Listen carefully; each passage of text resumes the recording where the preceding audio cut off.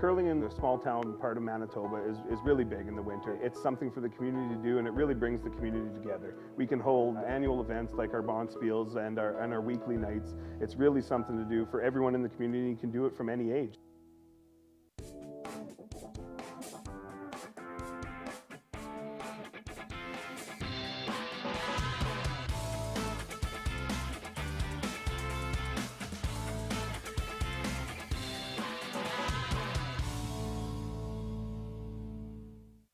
You can win a pair of tickets for the 2023 Tim Hortons Brier in London or the 2023 BKT Tires and OK Tire Men's Worlds in Ottawa, plus $500.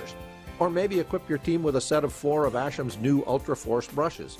And at the same time, support the Manitoba Curling Hall of Fame and Museum and Curl Manitoba's Curling for Life Endowment Fund. Raffle tickets are available now one for $5, four for $10, 10 for $20. Buy online at fundingchange.ca slash curlmanitoba or scan the QR code on your screen right now.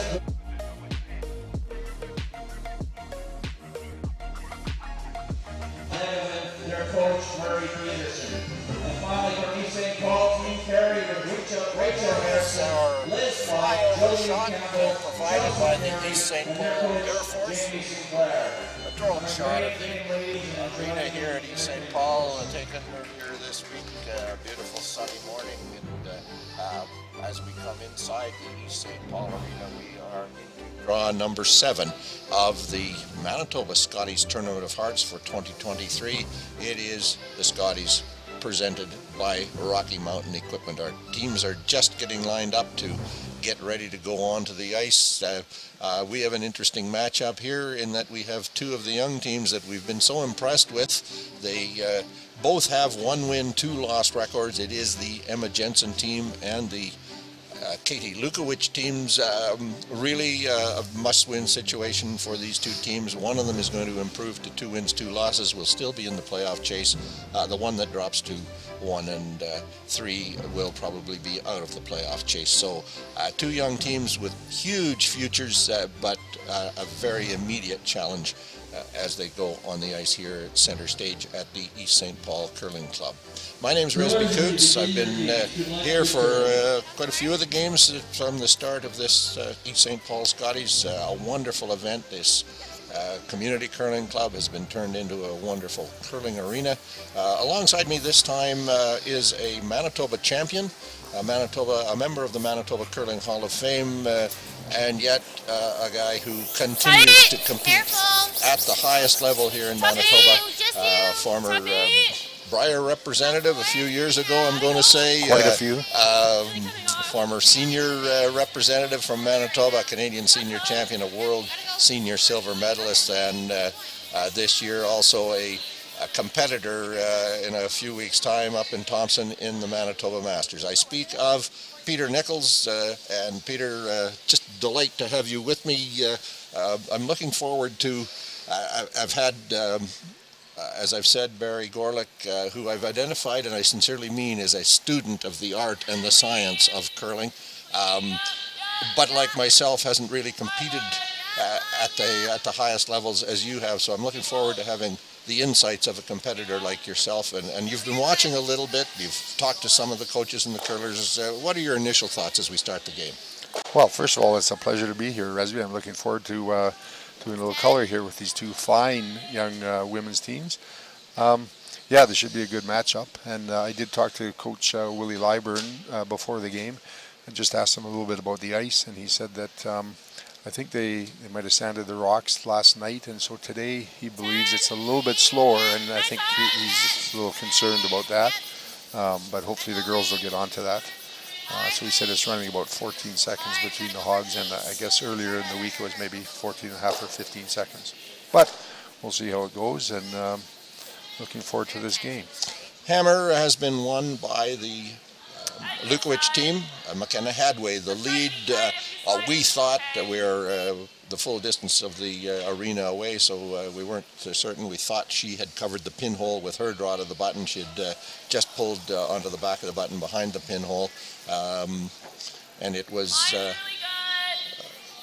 Now, which one was it who threw for the, it was uh, it was McKenna Hadway, the lead. Uh, McKenna for the Lukowich team, but yep. for the uh, and for the Jensen team, it, it was, was, also the lead. Yeah, Julia and uh, Julia Millen, and uh, she uh, got a little wide and actually bit the button on the tee line, right. but but lost that measure. So that indicated that they were ready to play. Tell me this, Peter, you having played, you know, in these championship caliber kind of competitions how do you use the practice period? Uh, you know, do different teams use them differently, and, and what do you do? Yeah, yeah, that's a good question, Resby. I think different teams probably do use it a little bit differently, but it's pretty important to try to win the hammer. Uh, so anytime I play with recently with the, the senior team, we really um, uh, take time to learn the proper ice to get to the button, and, and the person who's going to throw, uh, we make sure that he has the last three or four shots at the end of the practice and, and to really determine the weight. So I think it's really important to try to win the hammer. So, you know, you're throwing a lot of rocks outside into the button, but that also sets up some, some trouble sometimes in the first end when you haven't played inside out as much or you haven't thrown some hits where maybe you could. Although, uh, normally on arena ice by now, you know, the, the women will know how much is curling everywhere. So I don't think it's that, you know, much of a, a challenge. Uh, but really important to try to get the right ice and the right weight for the draw.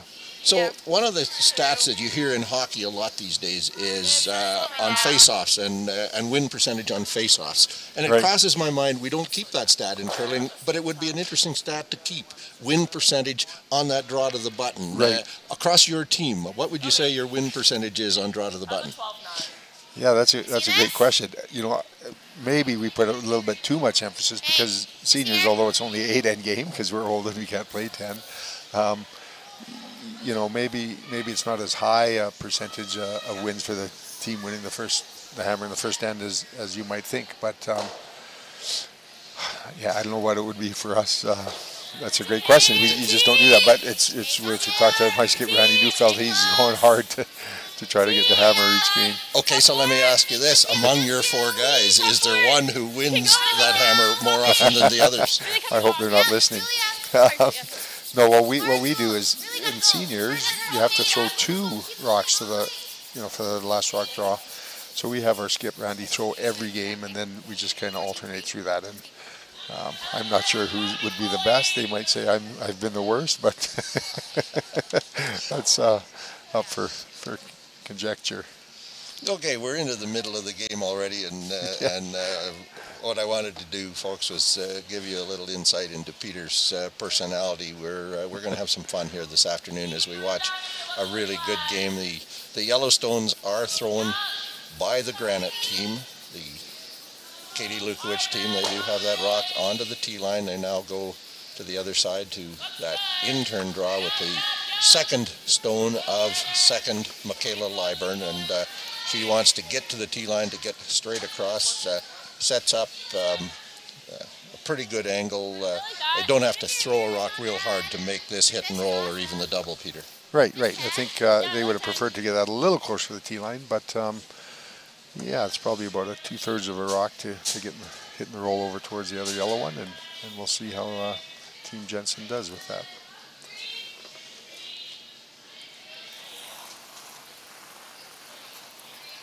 So it is third lane Prokopowich. No, Becky, Becky, Becky. I don't know what to do. Okay, stop it. She does. Oh. Stop the rock. Must have burned it. Did exactly the right thing. Mm -hmm. I heard someone say, I don't know what to do, so they must have touched it early. Yeah.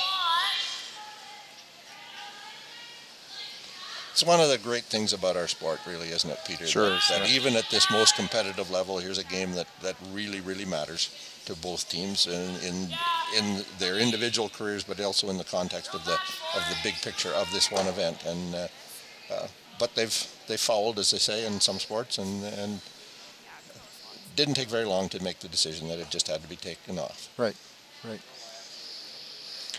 So now Lukowich is in a pretty good position to start the game with uh, at least a couple in the first end. We'll see how this transpires.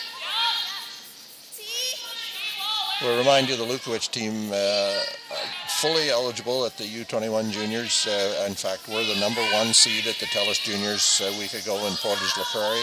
Um, for them, it would have been a disappointing week. For many, uh, they'd say this, the win-loss record was pretty fine, but but they did make it to each of the three qualifying levels, the A, the B, and the C, and they did uh, lose each of those games, so they would have been disappointed with that result.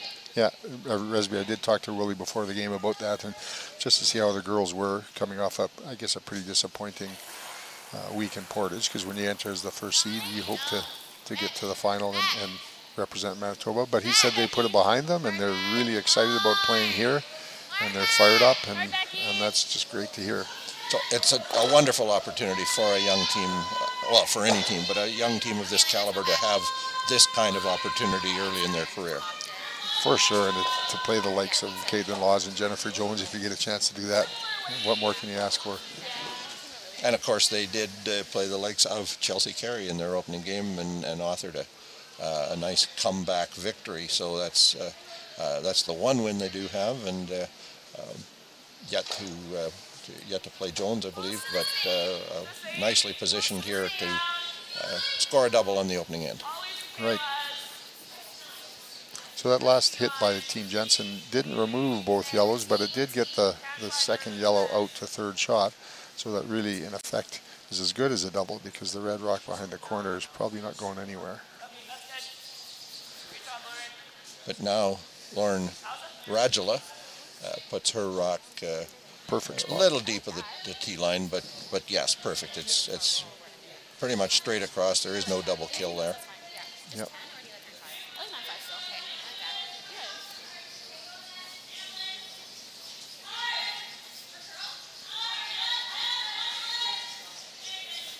Do you play inside out or outside in on a hit like this, Peter?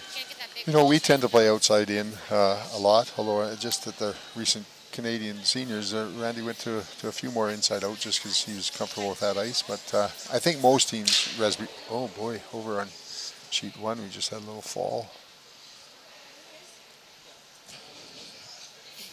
Bit of a tumble. Uh, yeah, I hope everyone's okay. Now they're looking around to see what to do with the rocks. Well, first consideration, uh, for sure, safety, nobody's yeah. really injured. Uh, a little bit of bruised pride and maybe a bruise on an elbow, but uh, yeah. Um, some rocks did get kicked around over there, but uh, they're all back to the right position and away they go. So it is Emma Jensen, and uh, she is making that out-turn hit, comes across the face and uh, and rolls away. Wait, was fun. Oh, Team Lukowich looking at, oh yeah, they're just going to split the house again and, and try to get their simple deuce. A 14's close with sweeper, yeah.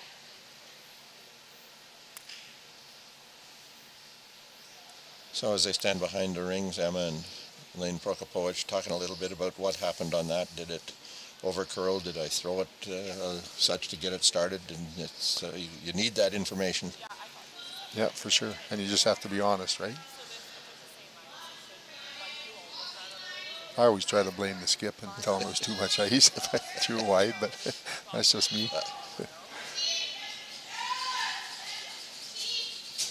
So it's Katie Lukowich with her first stone. The Yellowstones belong to the team from the Granite Curling Club. They will have hammer here. And she wants to get back again across the uh, center line, deep of the tee line, so that there is no double kill.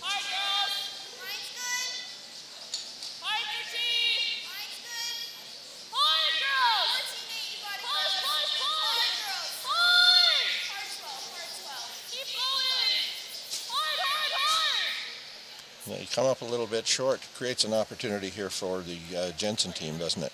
Yeah, it does. It's interesting what they're going to call here because um, they got to be a little bit careful. They don't want to put their rock in any position where, where Katie could make a double for a big end. But as long as they don't disturb that, that red one, I think they should be okay.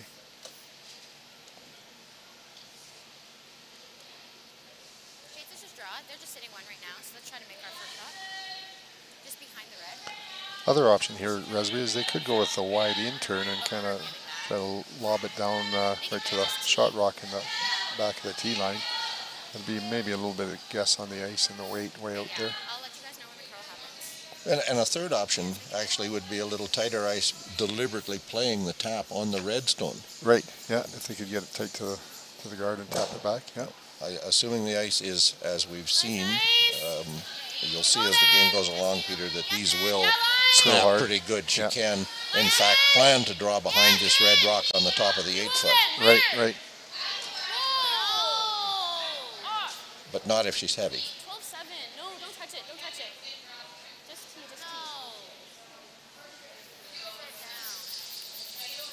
T. Oh, is it going to stop for shot? I think it did, Resby. Yes, it did. But what a great shot. But you see that, uh, you know, that amount of weight, uh, that's still the uh, pretty extreme kind of curl For sure, as it's but, yeah. stopping and it, and it came in behind. Yeah.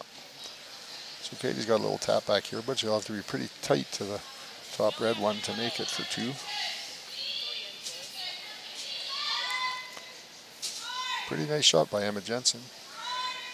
If she'd have had even a foot less weight, that that little bit of snap at the end, she was going to be right over to the yellow, wasn't she? Yeah. Yeah, I'll aim for Becky. If we end up straight drawing, that's okay. So it is Katie Lukowich, the, the last stone here of our opening end.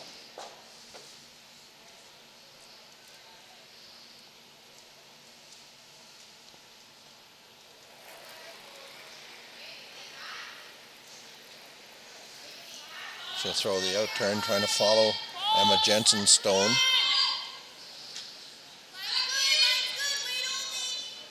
Line looks pretty good from where we are, Resby.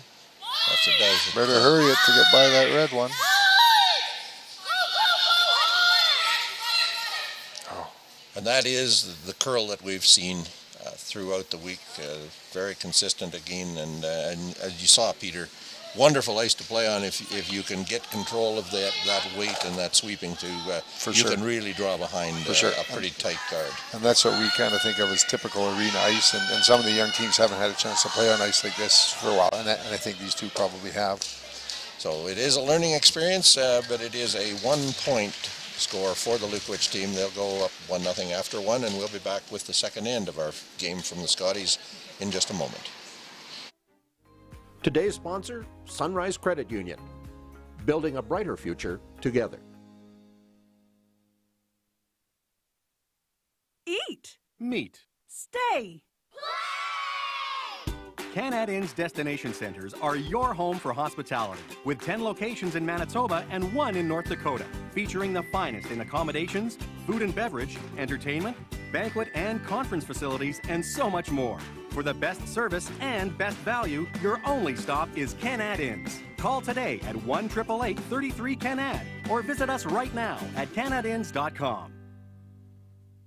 Where can you find handmade pizza, classic burgers, scrumptious salads, the finest Manitoba sourced fried chicken, and so, so, so much more? Chicken Chef, bring your appetite. We'll take care of the rest. We're back inside the East St. Paul Arena, just on the north side of the city of Winnipeg, uh, outside the perimeter highway. Uh, Katie Lukowich with a draw for two um, over curls. Uh, learn uh, how much more ice she would have needed to make that shot as this game goes along. Uh, comes up with a single point, so Lukowich leads Jensen uh, by a score of 1 nothing. Over on sheet C, uh, Kaitlyn Law is scoring a single point. She leads uh, Darcy Robertson 1 nothing. And, and as we've said uh, through some of our other games, uh, folks, the uh, we do television on this feature sheet in the middle. We do radio on the other two. And uh, Peter Nicholls was watching uh, the game between Peterson and uh, Chelsea Carey as Chelsea made her last shot. Peter, uh, uh, a pretty nice shot, I understand. Yeah, Chelsea had, uh, I'm not sure how many she was lying, but there was lots of rocks on the forefoot, and she raised one of her own rocks just in front of the house back and tapped out Rob um, Peterson's rock and uh, scored three. So a really good start for Chelsea, who I spoke to um, before the game and uh, just asked if she was going to get her going, and she said she sure hopes to. She has had a bit of a rough start, and, and we all know she's a Canadian champion and, and uh, fantastic player, and we hope she, she gets her going. So that was a really good shot for her confidence, I think. Yeah, it would have been uh, a real surprise for uh, a real surprise for everyone that, that Chelsea Carey would come out of day one with a pair of losses. I mean, if she had played Kaitlyn Lawes or Jennifer Jones and so on, you might have expected or, or predicted uh, a loss. But uh, the two teams that beat her a bit of a surprise, and and uh, Chelsea's got uh, a little too much experience, but also a little too much pride to to, uh, to go down without a fight. For sure, for sure, and I expect her to play well for the rest of the uh, competition here. And and you know what, with three out of six teams getting in from each pool, you know, you could get in for sure with three and two. You might even outside chance to get in with a two and three record. So uh, Chelsea could make some noise before uh, before this week is finished. But this is uh, right across this draw for uh, well, frankly, for all the teams except Kaitlyn Lawes. This is a critical draw, in that. Uh, Carey uh, sits at one and two. Beth Peterson sits at two and one. So right. a Carey win brings her up into the tie with Peterson, and it's critical for Darcy Robertson playing the Lawes team because Robertson is one of the teams at one and two, and, and Lawes at three and zero oh, uh, is going to make the playoffs uh, next round at least. That's a guarantee already. Uh, Robertson uh, absolutely needs to have that second win to get into the tie with right. with uh, the other teams. So uh, obviously, the last game of the round determines what happens in the end. But but this is the setup round in a very a very important series of games here. For sure, for sure. I'm, I'm thinking the teams at one and two wouldn't mind seeing Carey beat Peterson and kind of bring her back to the pack. And then you got four or five teams that are all playing for the, those last two positions. Well, that's exactly right. There, uh, there would be the two teams there, Robertson if she wins, and the winner of this game. So there would be four right. teams at two and two, and then that last round uh, tomorrow morning becomes the the uh, the, break, the tiebreaker right through the system.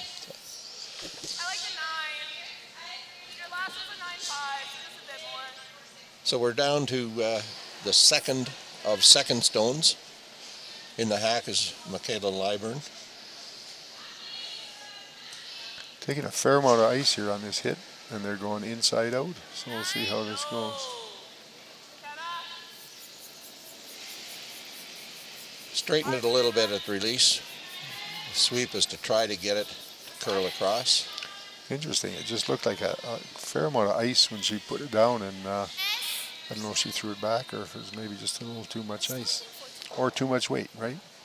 One of the and above. Again, the, the combination of, of ice and weight in whatever way, occasionally rotation comes into it, but really a miss is generally a result of the wrong combination of ice and weight.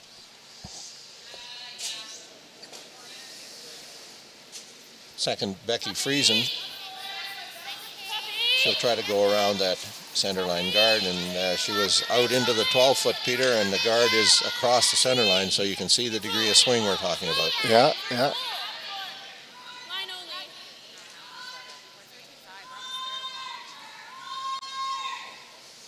That will slide deep. And, and just out. Just through the rings. Yeah. I heard someone on the team say we're 13-5 between hogs, so I think they really probably need 14 or, or maybe a little bit more than that. And a half even. Yeah. So Katie, looks like Katie's taking just about the same ice, so that would lead me to believe that it was either overthrown or, or a little bit back. This is Lauren Radula. Nice, gentle curl to that target stone. Yep, good throw, good result.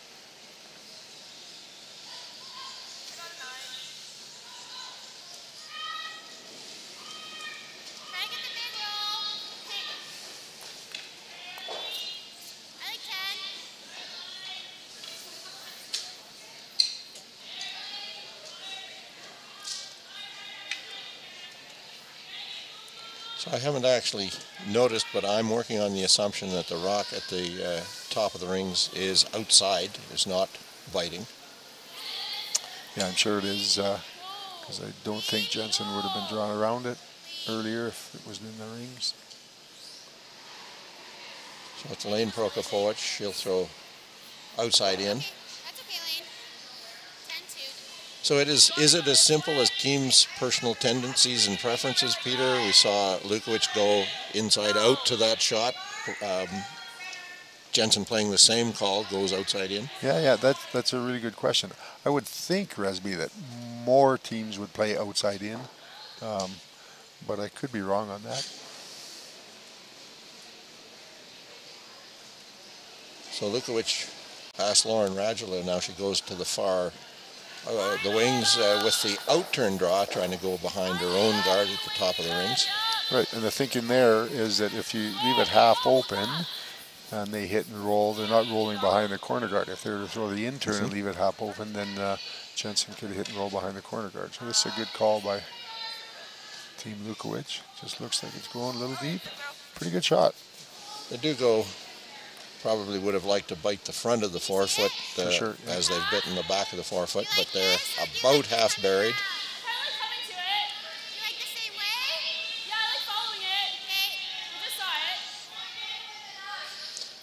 A slightly more aggressive call, Peter, a draw to that rock rather than just playing a hit on it and rolling to this corner. Right, yep. It's, it's probably two thirds buried, so I like this call. You make a good one and good chance to get a deuce. Key being, of course, that the Redstones, the Jensen team, does have last rock.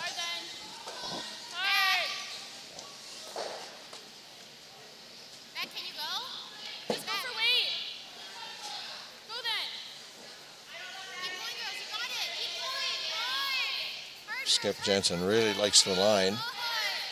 The weight just a little short, comes up to bite the eight foot circle, now covering that shot rock at the back. And Lukowich senses an opportunity here. She'll try to bury coming around now from the in turn side. Yeah.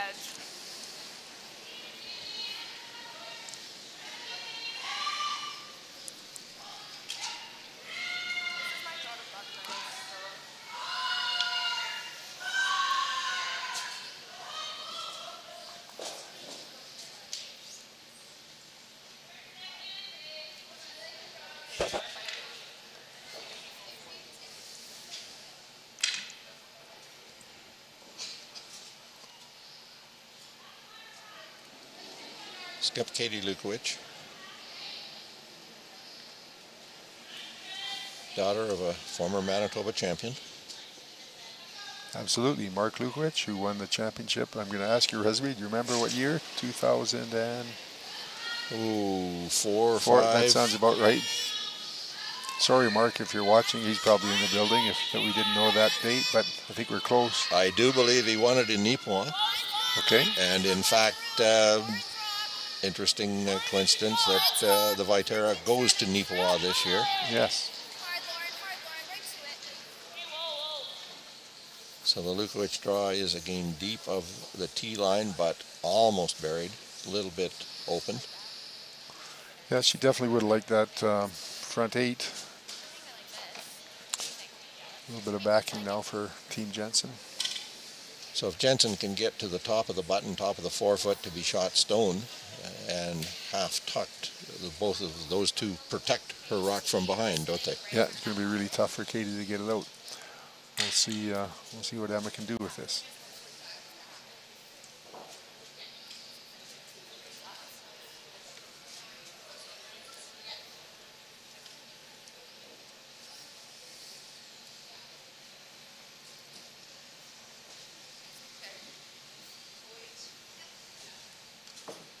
Jensen, team from the Heather Curling Club.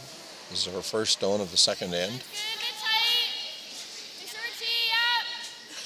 She made a nice draw on that opening end. Uh, ended up resulting in the force of one for the Lukowich team.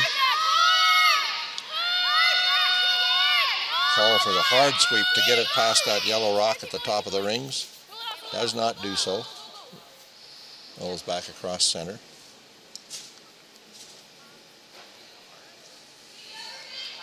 Tough one. That one just looked a little tight all the way. I don't know if it was not enough ice or if she never got out to it, but well, she could be in some real trouble if Katie closes the hole here.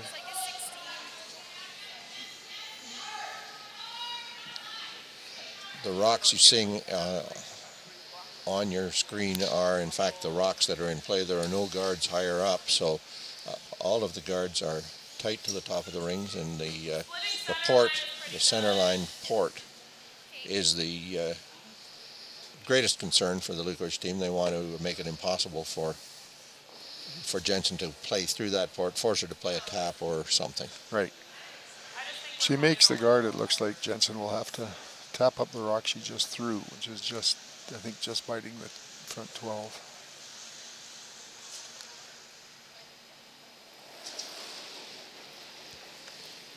Katie Lukowich's final stone of this second end underway. Looks like she throws the rock quite a bit like her dad. Yes, she does. Probably a little bit better, Mark.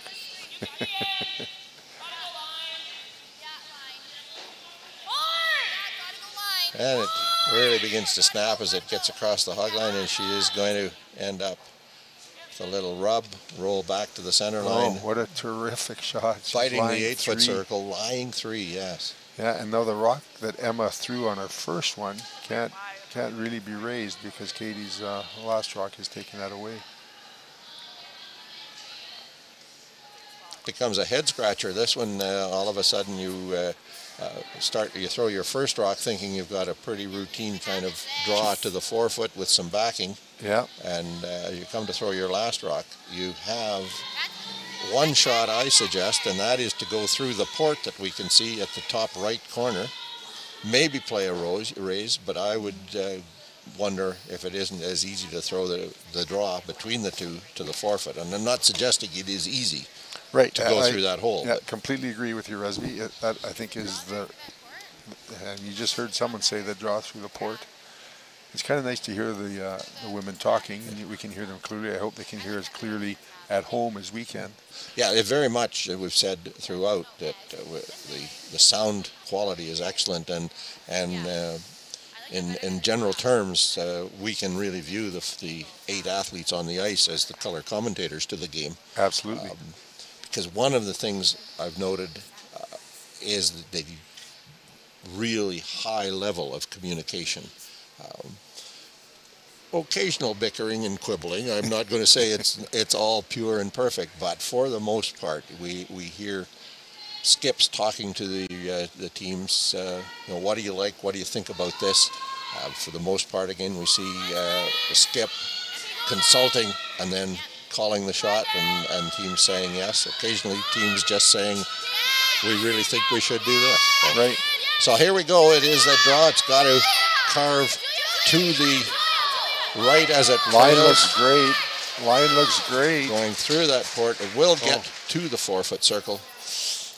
Just but a little. will heavy. sail deep and in fact deep into the 12 foot circle, and it is a steal of three as Katie Lukowich puts a three score on the board to jump out to a 4 1 lead after two. We'll be back with number three end momentarily. Today's sponsor, Pharmasave. Canada's community pharmacy is proud to support Canada's community game. Asham Curling Supply. Superior fit, comfort, and performance. Asham curling shoes are the best we've ever used. Hi, folks. I'm Arnold Asham, and our product is always satisfaction guaranteed or your money back. Asham Curling Supplies. That's your best delivery of the day. You can win a pair of tickets for the 2023 Tim Hortons Brier in London or the 2023 BKT Tires and OK Tire Men's Worlds in Ottawa, plus $500. Or maybe equip your team with a set of four of Asham's new Ultra Force brushes. And at the same time, support the Manitoba Curling Hall of Fame and Museum and Curl Manitoba's Curling for Life Endowment Fund. Raffle tickets are available now one for $5, four for $10, 10 for $20. Buy online at fundingchange.ca slash curl Manitoba or scan the QR code on your screen right now.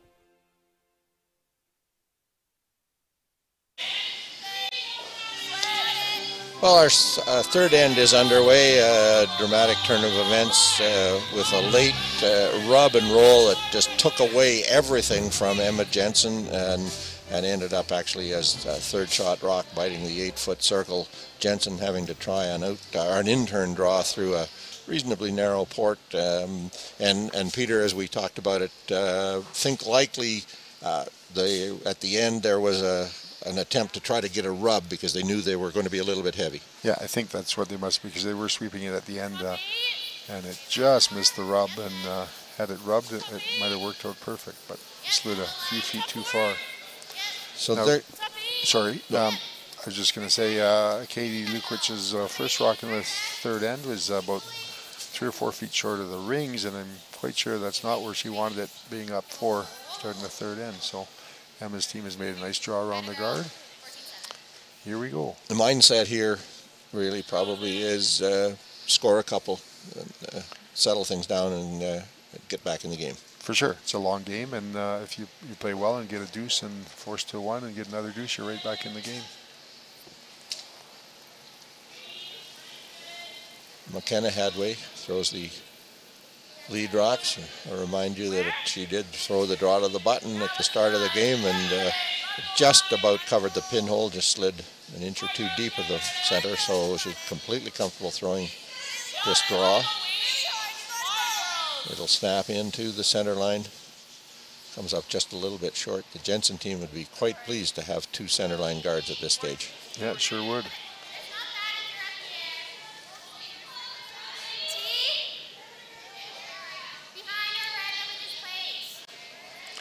In the other games, Resby over on sheet C, Kaitlyn Lawes stole one to go up 2 nothing on Darcy Robertson. And Beth Peterson got a single, so she's now down 3-1 without uh, to Chelsea Carey playing the third. And Jensen goes wide with the out turn for the second shot by her lead, Julia Millen.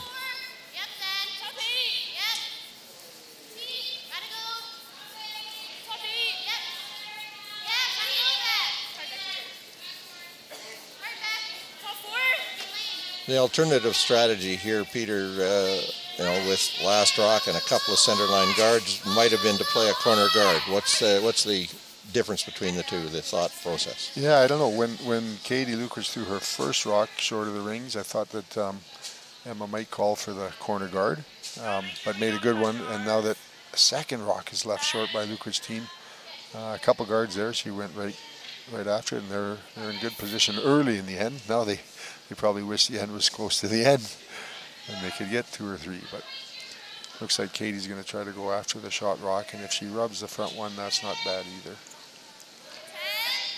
Well, we're still in the situation that if she rubs the front one off the center line, uh, it goes back on. Oh, Oh, that's a great shot. That was a great shot. Yeah, with the uh, with the center line no tick rule in play, it is the sixth rock of the end that can be used to remove a stone. So that was the fifth rock of the end. Okay, but if it's your own rock, no, you it still has to stay there. Okay, I guess I should learn the rules. Eh? we don't know play if that be, in seniors. I don't know if they'll be playing it this time around in Canadian seniors. I doubt they'll play it at the Canadian Masters no, when, when no. you win it in Thompson. No, no. When you get to those competitions, it's almost no no hits, anyways.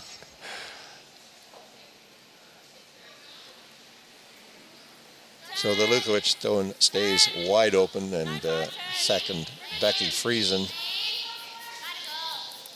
They but need the sweep to get it to curl.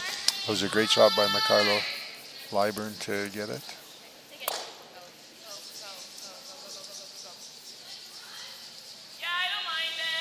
I apologize for having to do the tutorial on the no-tick rule uh, here live, Peter. no, you shouldn't be apologizing. I just, if it's yellow throwing, I, I just wondered if you kick your own rock off. But thank you for informing me. but now they can play the double run. The other interesting aspect of the no-tick rule is that uh, it cannot be promoted into the rings, even if it stays on the center line. It it it can it can it, so it's not a no touch rule. It can be touched, but it has to stay in the free guard zone, touching the center line and, until that sixth rock of the end. Okay, gotcha. So if you raise it into the house um, and it's still touching the center line, it can go back. It has to go back. Yeah, it goes back at the uh, decision of the other team, of course. So with the tutorial completed, we're now going to see the Jensen team play on to uh, play the uh, corner guard. Yeah, I didn't, I didn't see she called it corner guard or she called it in the house. Well, uh, yeah. right. She's going to go wide. And yeah. We'll know in a minute.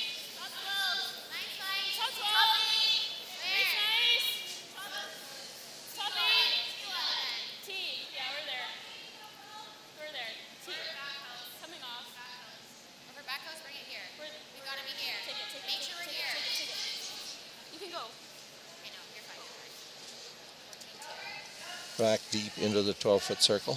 Yeah, it's a good shot.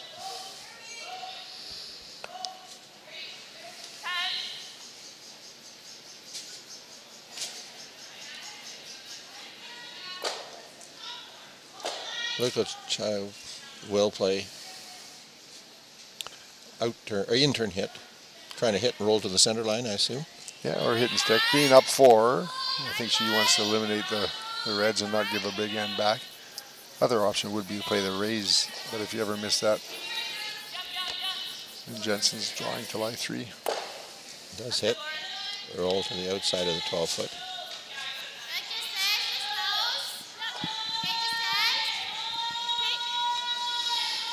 Interesting call here, Resby. He's playing a hit.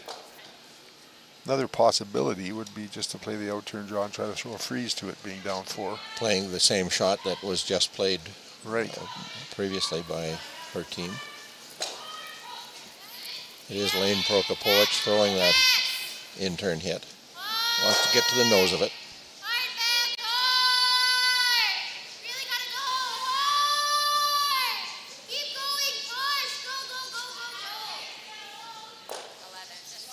A bit underthrown.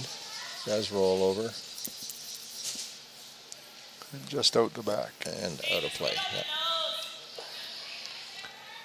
See, that was the problem with playing that. You roll out, now you give Lukowich a chance to play the straight back hit, raise hit. Where a draw to the outside, even if not right back to it, at least has it for some as a catcher or whatever you want to call it. Yeah, for sure. So we'll see Lauren Radula. She'll throw the out turn hit right up the center line. Straight run back. Gain a little wide, need to sweep to get some curl. Pushes it past. Rolls away, spins back in, so that yellow rock. Is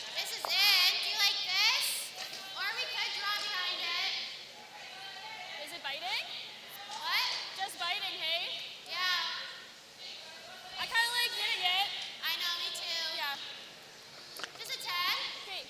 Interesting conversation, agreement there. Both Skip and third like the hit. Resby, what do you like? Well, I understand the call. Um, I, am not sure down four that uh, it's the call that I would make, but it's uh, you know I think they have the option that they could have gone in turn out uh, back to the tee line and be somewhat buried, maybe fully buried. No roll in, they stay off the rings. And at some point, I think uh, either this shot or next, we'll see Lukowich. As she says, she'll flop away this time, but uh, opportunity next time, she'll roll back behind and try to force, uh, use that as a guard to force uh, uh, the Jensen team to take a single point.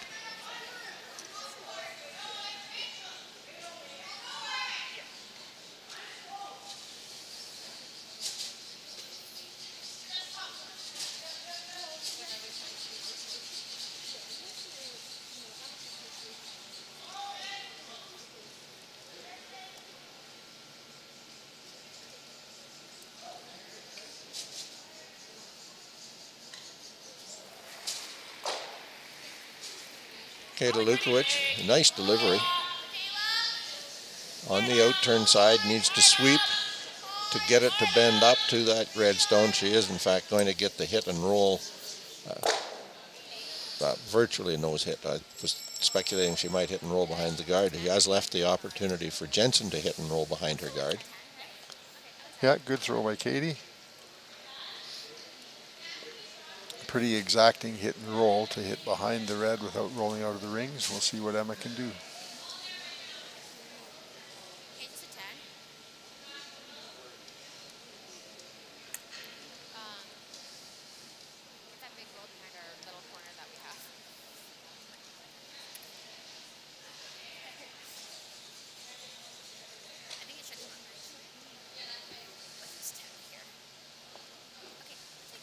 Katie Lukowich and her Granite team lead Emma Jensen by a score of 4 nothing after two.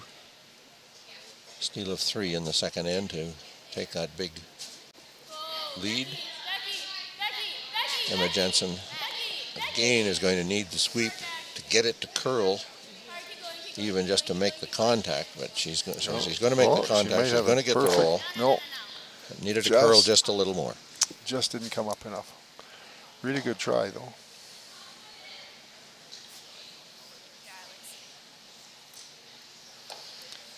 So it looks like Katie doesn't want to go anywhere near that corner guard. I guess if you ever if you got curling, you could raise him in. So she's going to draw to the open side, which is probably a wise a wise call. Up four, playing the third. end. Up four, comfortable lead.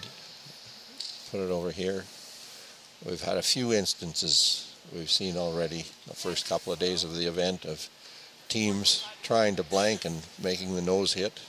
It's such it looks so simple the concept of hitting a rock and rolling out, and yet often you roll out when you don't want to, and you do not roll out when you did want to. Right, or else you could do the ultimate and, and miss it wide and, give him a steal, and then that's not a good shot. And we in fact saw that in the morning game as well. A miss on the out, uh, the in wide intern side over here where Katie Lukowich is going.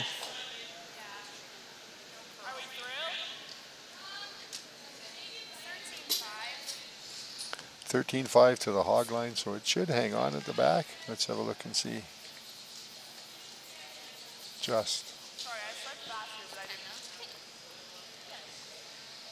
So Emma Jensen will throw from the outside in, the intern, looking to blank.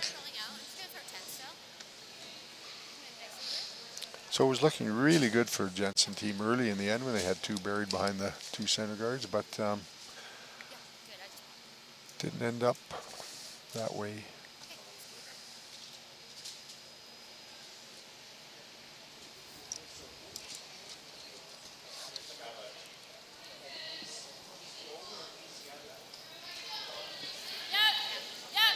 Final shot of the third end underway. Intern hit.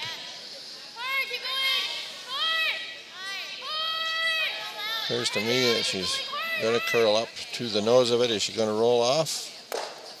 No, she is not. She will stick for a single point, an unforced error, a steal, or not a steal, a force of one. It is 4 to 1. Lukowich over Jensen after three. We'll be back at the East St. Paul Arena in a moment. We hope you're enjoying this Manitoba Championship curling, brought to you by Seagram's 83, Manitoba's favorite Canadian whiskey. At McMunn & Yates, we've always believed that good neighbors make for better communities. McMunn & Yates has everything you need for your next project, right at your fingertips. And McMunnandYates.com will always be there, ready to help.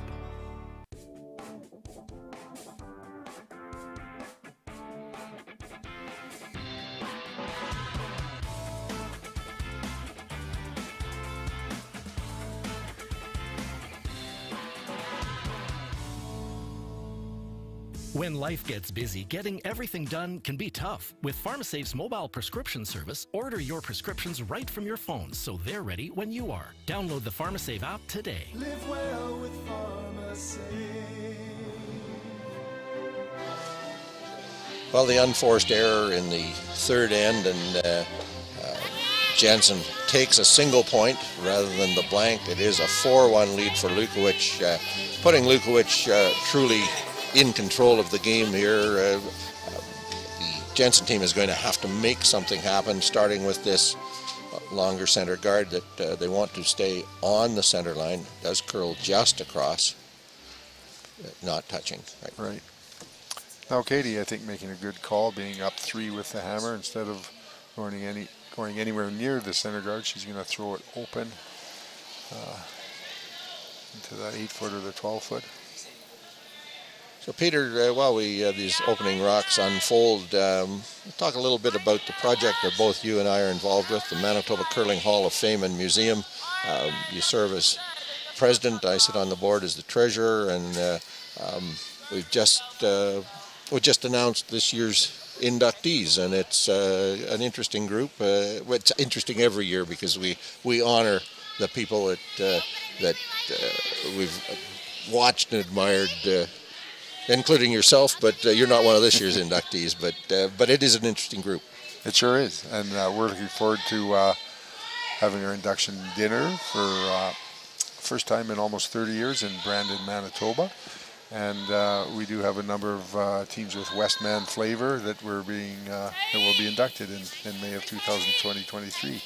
So we're excited about that. So I know you've been on holidays for uh, a little while, uh, laying in the sun. Uh, do you remember who those teams are, or have they I, did they wash out of your memory banks? I think we could probably name them. We have um, a number of masters and um, seniors team that won seniors teams that won Canadian championships and I will try to to um, tell you who they are. The Ray Orr team won won a Masters championship, and I don't remember the year. 2005. Okay, we also have uh, Doug Armour won a Masters championship 2009. Very good. We have uh, Kelly Robertson won a Canadian Seniors Championship in 2011. Yes, he did. That uh, team, that Neepawa team, uh, one of the really, probably you could legitimately say, maybe one of the best senior men's teams in Manitoba curling history. Uh, four years in a row they played in uh, championship finals, seven championship finals overall, including Canadian and world. Yeah, yeah, and uh, I, I, know that well because we played Kelly a few times uh, way back then too. Uh, and our last um, team, I believe, is the Martin Bailey Canadian Masters Championship team, and the year was 2004. Right in that time frame, yeah, yeah. And that that the, the last of the men's Masters teams, and of course the uh, women's Masters team of Joyce McDougall from uh, the Brandon area. Right, right. So it's a, it's a, a good group, a, a, veteran group that uh, we'll honor this year. Uh, some individuals, Doug Harrison, a, a deserved uh, induction into the Manitoba Curling Hall of Fame. Absolutely, and and uh, anyone who's followed Manitoba curling over the last 40 or 50 years will know that Doug was always a perennial favorite to win almost any championship he was in.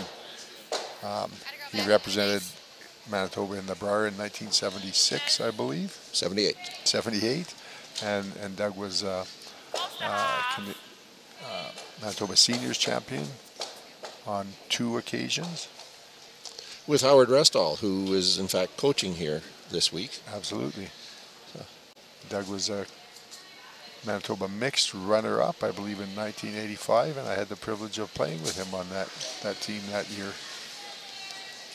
So that's one of the individuals. Bob Flock, a, a, a, a, guy who was a pretty fine competitor, but also a police officer, and uh, and he recognized early on that the that the profession, the calling of police service, uh, really didn't fit with a competitive curling career. Right, and, and I do remember um, playing against Bob, and, and he was uh, uh, a very fine curler out of Deer Lodge, I believe, for many years, and playing him in zone championships, and I, I believe he advanced to a number of Manitoba uh, provincial championships uh, in the men's category. Uh, but is probably most known for his uh, development of the Police and Pals uh, um, curling program that lasted for almost 20 years. It did. He's and he is being inducted as a builder because of his work specifically in that area, but also a lot of volunteer leadership. Ruth Weeb, one of the most decorated curlers in Manitoba curling history. Right, and Ruth Weeb uh, won 11 Manitoba championships, I believe, at the Masters and Seniors level, and so she's um, rightfully being inducted as a curler into the Hall of Fame. So we're thrilled to be inducting her. And we have one more individual, Dave Peterson. Dave Peterson, an official who officiated here at the Scotties, officiated at uh, many of the men's championships um, was a leader in the implementation of the officiating programs and uh, a very important contribution to the sport. Uh, so Dave also is being inducted right. as a as a builder. As a builder, and I believe Dave was inducted into the Canadian Curling Hall of Fame last year. So we have, um, I think, five teams or four teams and um, five teams and four individuals, and we will be inducting them at, in Brandon on May 7th. And so if anyone out in Westman is listening, we'd love to have you at that induction dinner. more Well- details will follow, and anyone from Winnipeg would come to say out as well too. You're allowed to drive to the Westman. Yes, they uh, details are just being finalized. In fact, uh, we have a committee meeting upcoming next week, and uh, there'll be some discussion, and we should be announcing uh, specifics on time and uh, the date will be May the May seventh. Uh, the time exactly, the ticket prices, that sort of thing, still under development. So we're uh, into third stones here. Lane Prokopowich uh, throwing the first of the third stones. The red stones belong to the Jensen team. Jensen team in some trouble after an unforced error, giving up a sing or scoring a single after giving up four in the first two ends.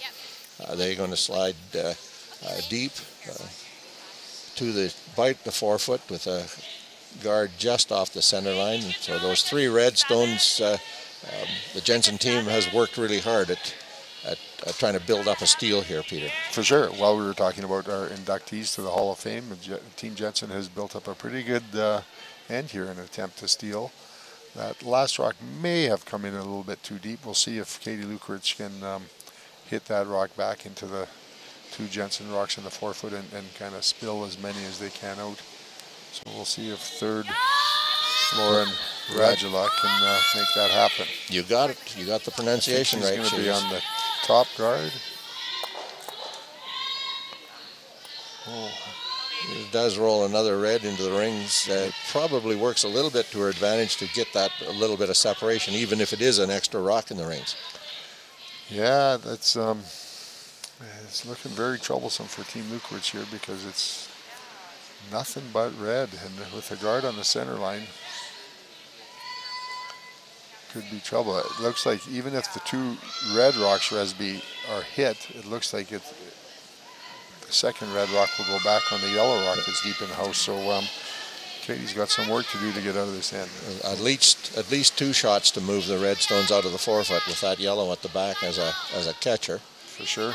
Lane Prokopowich with her guard attempt to try to get to the center line.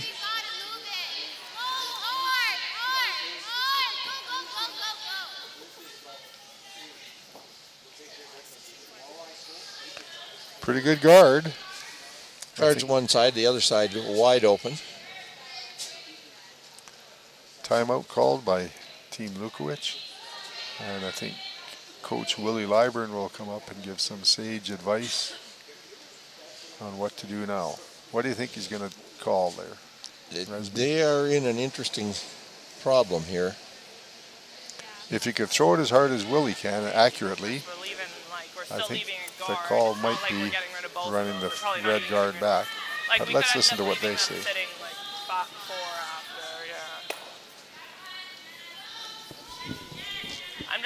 About running it into there, stuffing it right back onto there as They're sitting four.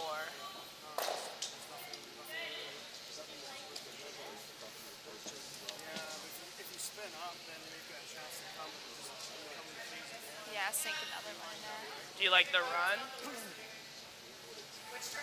Can't really make things worse if we can kind of try to run it into here, jiggle these, but that's still getting pushed into there. See, right now, right now, that's protecting. Sometimes we might have to, might have to score and probably give them two, right? No, I know. So maybe just a straight, straight, straight peel on the center one. Waste a couple of rocks. And then try it? You might have a draw to the, to the button to save if the I, I was talking one. Right? Okay. So just, just, just nothing fancy, just straight peel. Pro- probably, probably play this turn then. Yeah, yeah. Okay. Really interesting discussion there, Resby, between uh, Coach Lyburn and, and Katie. They're worried about running any of the reds back onto the two red rocks that are in the forefoot because they're worried it'll jam, and instead of them being a Jensen team lying two, they may be lying three or four. So Willie's saying we may just have to give them two and let's just play the straight peel. Um, and depending on what Katie does on her last rock, um, there may or may not be a draw to try to cut them down. So interesting discussion. They're they're in big trouble here.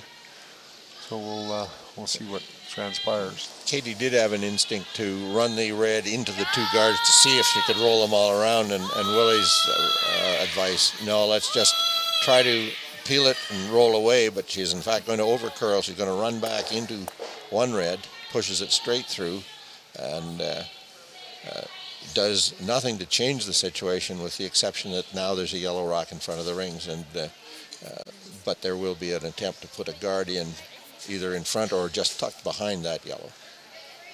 Yep.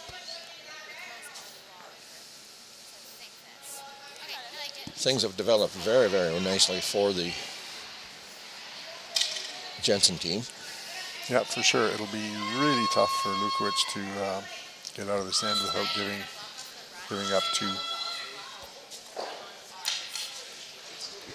I heard her say it's really, really curling with this turn, so she's taking the out turn at the edge of the 12, hoping the rock gets all the way over to the to the center line.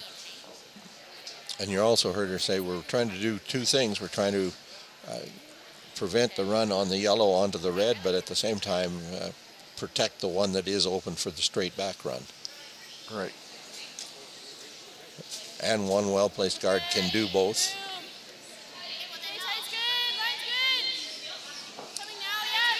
First of six skip stones here on the fourth end underway.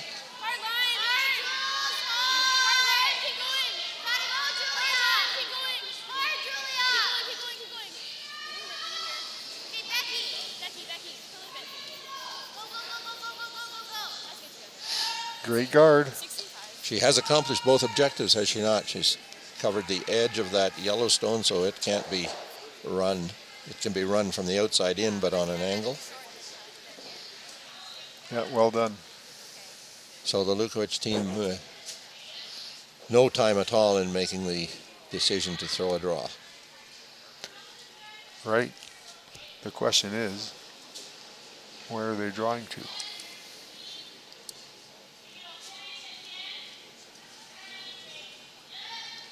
I guess if they just get by the red rock in the top eight, you might be able to get in close for second shot. We'll see as Katie Lukowich throws her first stone.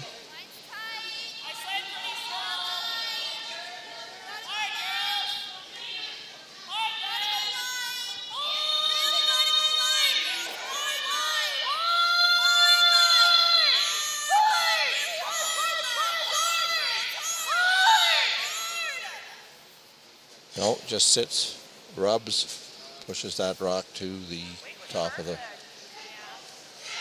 four foot or the eight foot.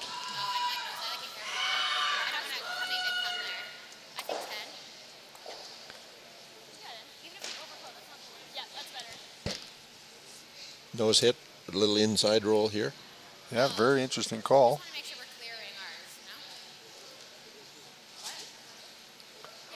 Could probably accomplish the same, Resby, by just throwing a guard in front of the yellow one. But, I mean, if she makes this well, Katie will not be able to cut them down Simply to less won't than have two. a shot, no. Yeah. She can thank her lucky stars she's got that yellow one in the back eight foot. Mm-hmm. So we'll see. The risk here is uh, uh, being a little bit wide and driving that yellow rock on an angle back into the two reds.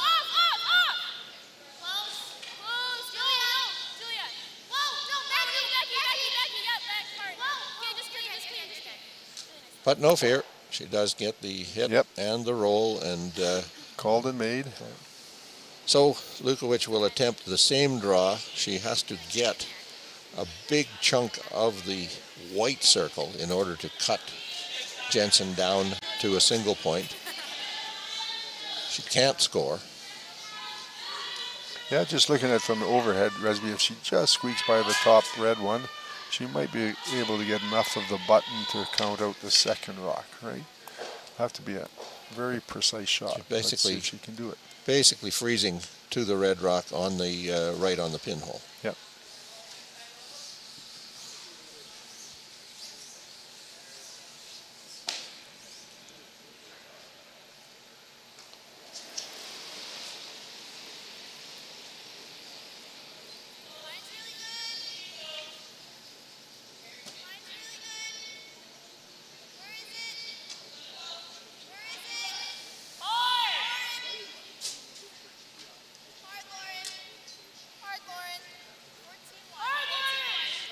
Does get wide enough that as it comes into the rings, it begins to curl, will not.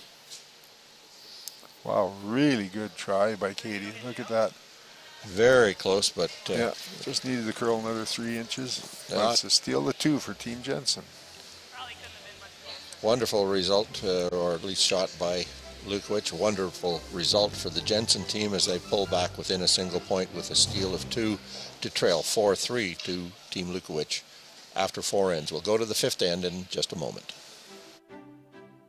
Thank you for joining us for this Manitoba Championship draw, brought to you by Seagram's VO, masterfully blended, distinctly Canadian. At Viterra, we believe in the power of connection. Our world leading agriculture network connects producers and consumers to supply top quality food ingredients each and every day. Our team takes great pride in working closely with farmers to help feed the world. It's something we've been doing for over 100 years. And as an industry leader, we're dedicated to playing a critical role in meeting the needs of a growing world. Because together, we're stronger and achieve more. Asham Curling Supply. Superior fit, comfort, and performance. Asham curling shoes are the best we've ever used. Hi, folks. I'm Arnold Asham, and our product is always satisfaction guaranteed or your money back. Asham Curling Supplies. That's your best delivery of the day. Back into the East St. Paul Arena and number five of our feature game in the 2023 Scotties Tournament of Hearts, and uh, where the Lukowich team uh, jumped out with a steal of three. Jensen team has jumped right back in with a steal of two, and the Lukowich team does lead 4-3 with Last Rock playing here in the fifth end. Just looking at our other games, Chelsea Carey leads Beth Peterson 3-2. Peterson stealing a single point on the third end. They're just finishing the fourth end. And in our other game, that game is tied at 2-2. Yeah, Darcy Robertson got two against Kaitlyn Lawes in the third end. So that to tie it up. pulled it together, and uh, there are a whole bunch of red stones in the rings. A red being the Lawes team, so they may be setting up to score a multiple. So Katie, I think called for that rock to be in the uh, in the house, but it's not in a bad position in the quarter corner guard position. So Emma will now try to get a rock behind her center guard in the forefoot. So Peter, to go back to our infomercial about uh, the Curling Hall of Fame and Museum, uh, we talked about this year's inductees and this year's banquet. Uh, um, folks watching have seen the uh, information about our fundraising project, and and uh, to, to turn the, the discussion a little bit on that, uh, it is a it is a raffle with some nice prizes but I almost, uh, to a fair extent, don't mind simply saying we're asking people if they would be so good as to make a $20 donation to the Manitoba Curling Hall of Fame. In return, we'll give them some tickets in a raffle. They might win some prizes. But uh, absolutely, uh, a handful of $20 donations uh, would uh, help with the with the cost of the uh, of the Hall of Fame and Museum. It sure would, Resby, and, and, and I like the way you put that. Um, really the Manitoba Curling Hall of Fame and Museum is, is really our mandate is to celebrate the long, rich tradition of curling success in this province, and, and it's exciting to be part of that board of directors. And uh, anyone that wants to um, to buy tickets and, and, help support the Hall of Fame, we we sure appreciate it, and it's um, it's a great cause to to celebrate the fantastic curling successes we've had in this province over the last hundred years and and I know you've since you've come on the board. I've been in I've been involved with the Hall of Fame for many years, uh, a couple of different stints on the board. Uh, you've come on the board more recently. I know how surprised you've been when you've heard about the collection that has amassed, mainly under the, the 30 years plus work of Heather Helston. Absolutely. Yeah, I mean, viewers might be surprised to hear that we have between 30 and 40,000 artifacts of some sort that celebrate curling uh, history in the province. And um, we, with your work and your son's work in the in the last year or so, we've uh, opened our virtual Hall of Fame museum, where we can celebrate successes virtually. So we've got lots of um, projects and we've got lots of opportunity to celebrate the game and and get whether it's virtually or at little displays at different curling competitions across the province. Um, so it takes a lot of work, and it's it's actually been a lot of fun being involved. And um, I encourage our viewers to, to support the Manitoba Curling Hall of Fame and to go to our website at www.mbcurlmuseum.com. mbcurlmuseum.com. Right you on. you won't yet find the uh, information about this year's inductees. Uh, uh, simply stated, uh, the induction has been announced, but they're not formally inducted into the Hall of Fame yet, so they're not uh, uh, celebrated on the website.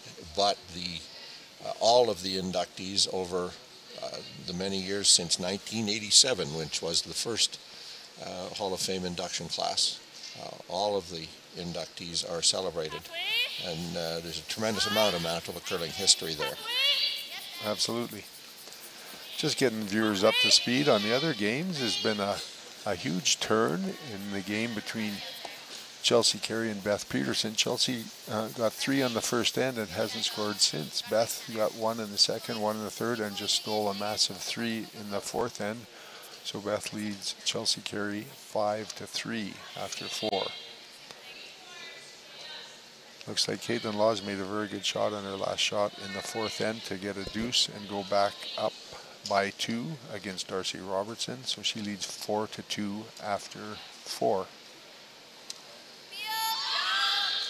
And here in our game, Michaela Lyburn with an outturned peel on a guard. She's tried to split off a couple of guards, rolled across the top of that uh, one corner guard that's guarding a red Jensen Stone. Jensen having stolen the previous end to pull back within a single point is uh, uh, working at trying to steal another and uh, she's she's working through traditional center guard approach but has that one nice rock buried in behind the corner.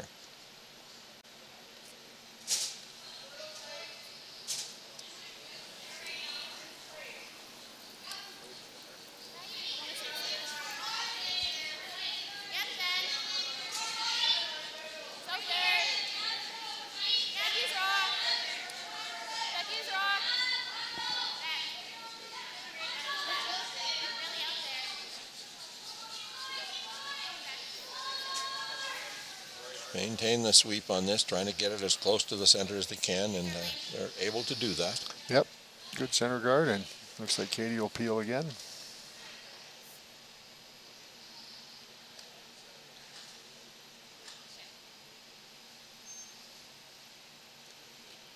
Just to close the loop completely on the uh, Hall of Fame conversation, that website, uh, it is an electronic ticketing system. It is fundingchange.ca slash Curl Manitoba.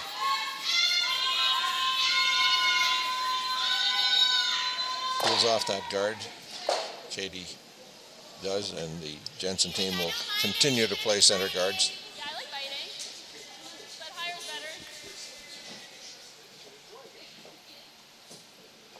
She says she's not bothered by a bite. She doesn't want to slide much deeper than a bite because it sets up the opportunity to hit and roll back over into her own stone. Right.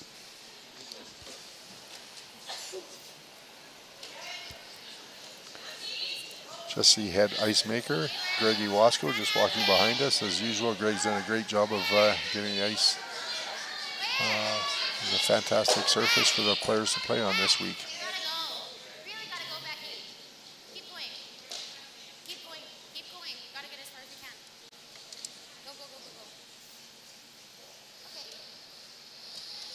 Interesting where this one ends up. It's a little bit further off the center line, and uh, now Katie's contemplating coming around.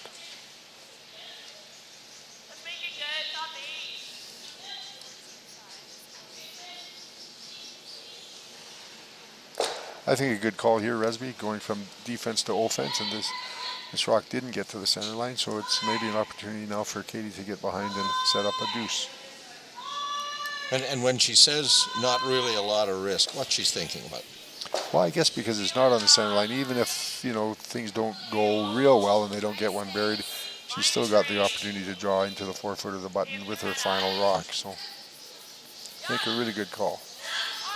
And we see it really begin to swoop across as it comes to the front of the rings and goes deep. Wow, that's a great illustration, Resby, of what you were talking early in the game.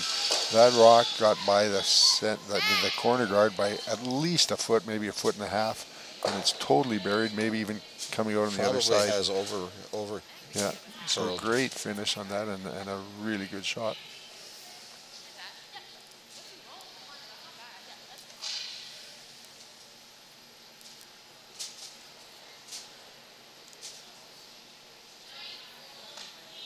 So as you can see in that visual there, that uh, yellow rock is poking out probably a small half. Yeah, yeah, that's really amazing because when it was coming across the set, probably equally difficult uh, on either shot, and, and they looked at the uh, hack weight or the board weight hit and decided the straight back was easier and just missed by a couple inches.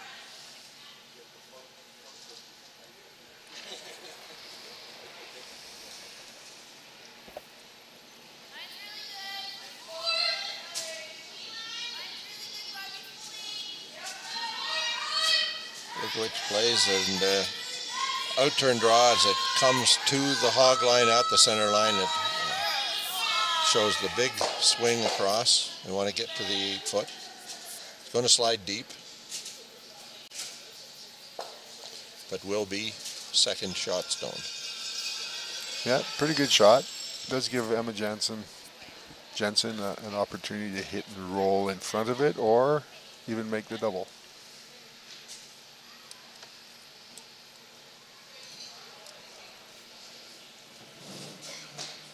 It's a 10. We're going to roll right on top of theirs. Like, not on top, obviously, but. Yeah, she said she didn't get the time that she said it was going down.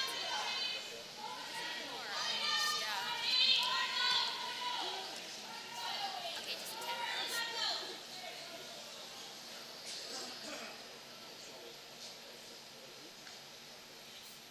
So facing two, Emma Jensen looks at an out turn hit, wants to cross the face of the yellow target stone just a little bit to roll over to the eight foot.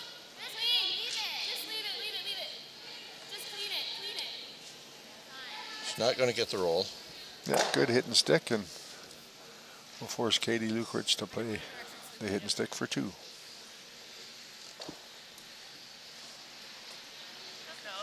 She'll also get a bit of a catcher over on the in the 12 foot if she ever over curls and hits half a rock or, or thereabouts.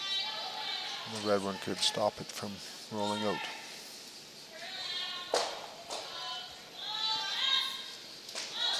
Final stone of the fifth end. See the scoreboard in the background. Lukowich and her granite team lead Jensen and her Heather team 4-3.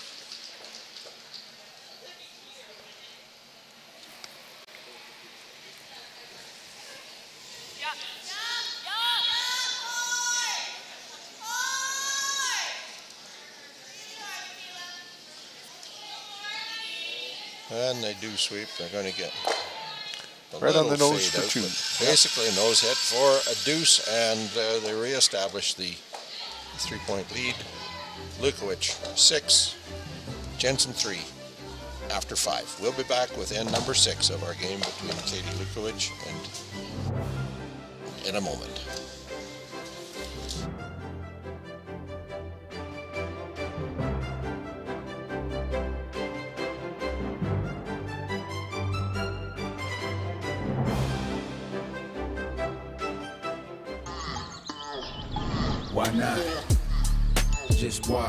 Why not? Keep scrolling, I slide. Why not? As a broadcaster and Hall of Fame football player, I'm constantly in the lab of life.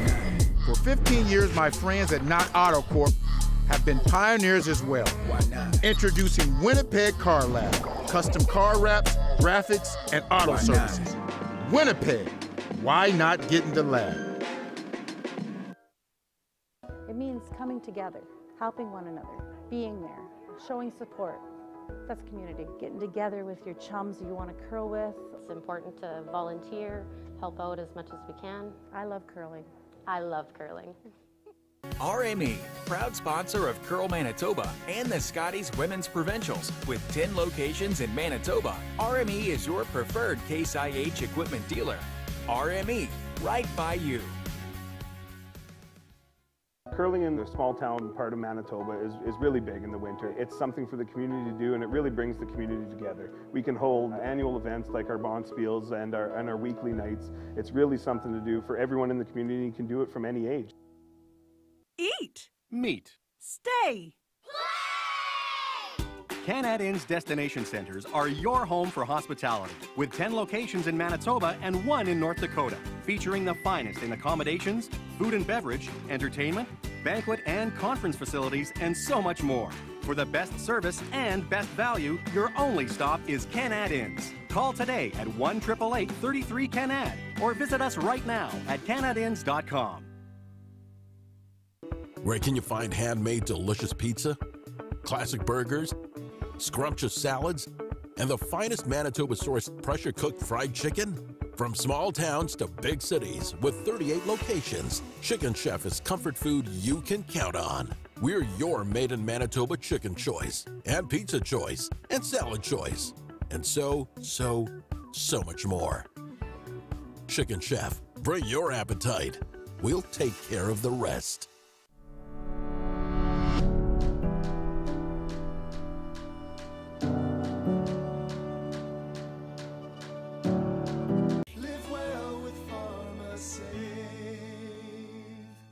At McMunn and Yates, we've always believed that good neighbors make for better communities. McMunn and Yates has everything you need for your next project, right at your fingertips. And McMunninYates.com will always be there, ready to help.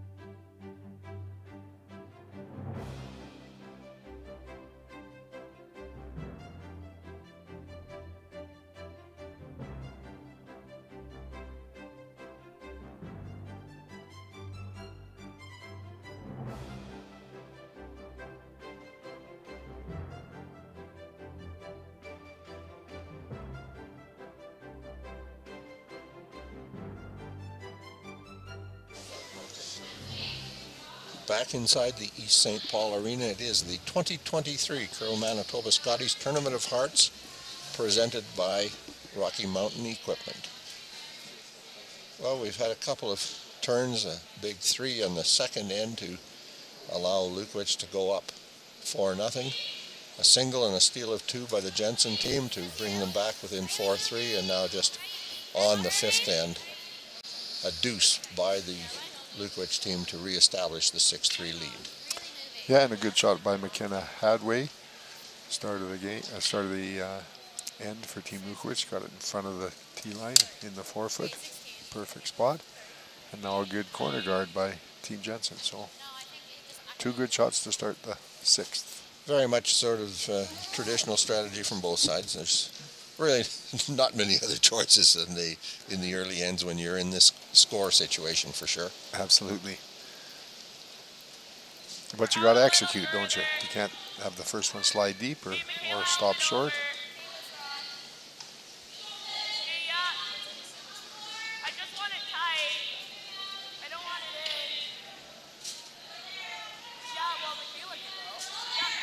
See the McKenna Headway draw.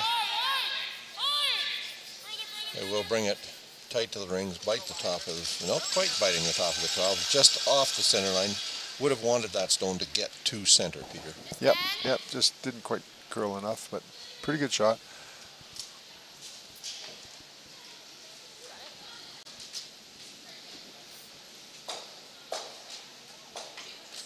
Julia Millen.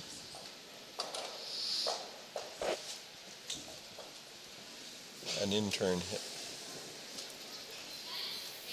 hit. Hit, she will play that rock on the center line in the forefoot. Really curling. Looks like she's got a good one.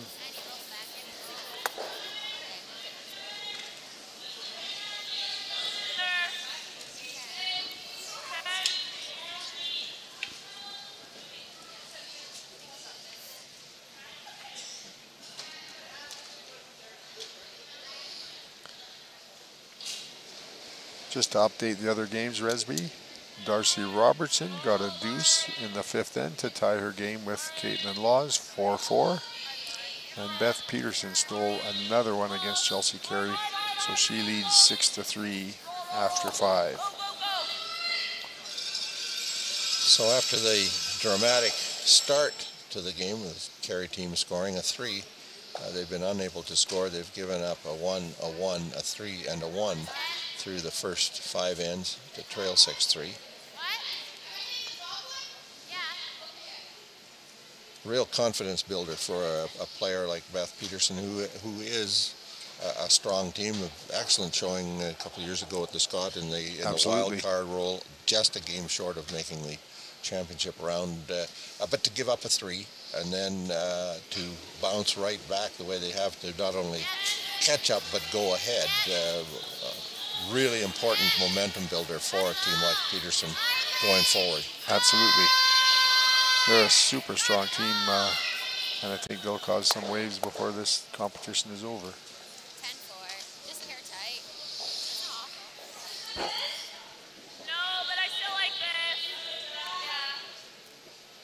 Becky Friesen uh, attempting to run a pair of yellow stones out, uh, overcurls a little bit, runs the guard in, removes the rock, but leaves the rock wide open center of the rings.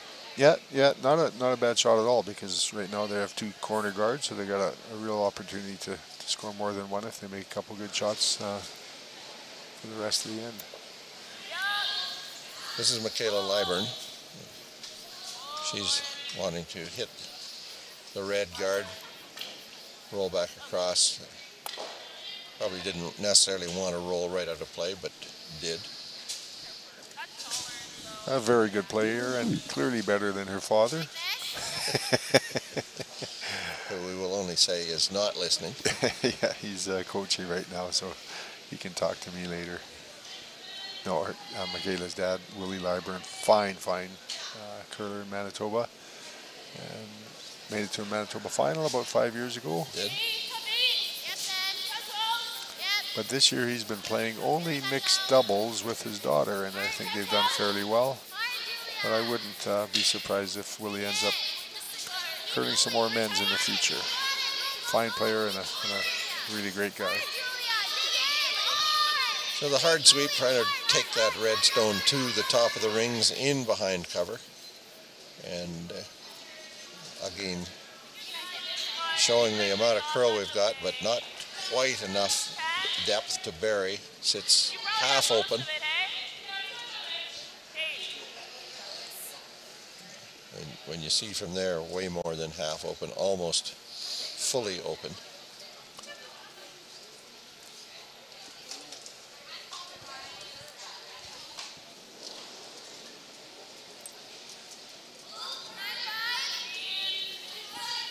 Lauren Rajala throws third stones for the Lukowich team. Just going to get a little rub on the red stone. Enough to get it out. Pretty good shot. Better remove that red rock from play. Lauren Rajala.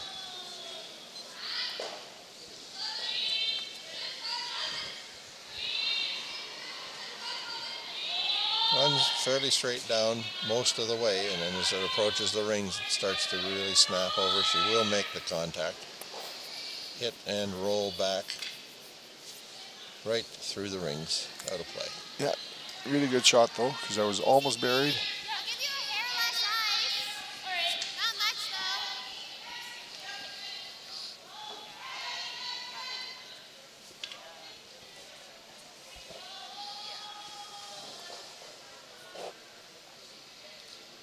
You mentioned she passed that guard by about two feet. She probably wants to be in the range of about a foot to 15 inches to, to fully bury. I think so. So let's see. This rock looks a little tighter. Looks like pretty good, pretty good line halfway down.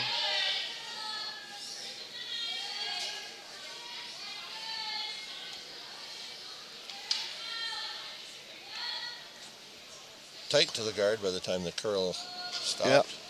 Perfect, perfect guard, or perfect draw behind the corner guard.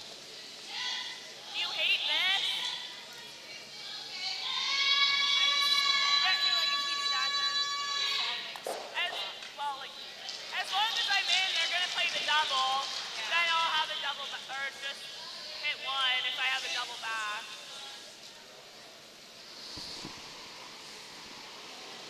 Do you like coming this way though?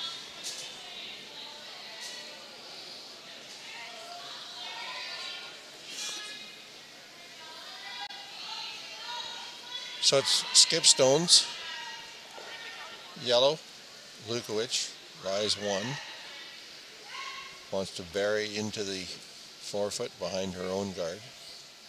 An interesting call. I guess she could um, could try to split the rings and, go over in the vicinity of the red rock that's behind the corner guard. Problem with that is if um, Jensen ever made the double, then she might have two behind the corner guard and, and looking at a big end. So Katie's going to get it in the house and tempt her to make the double to lie two.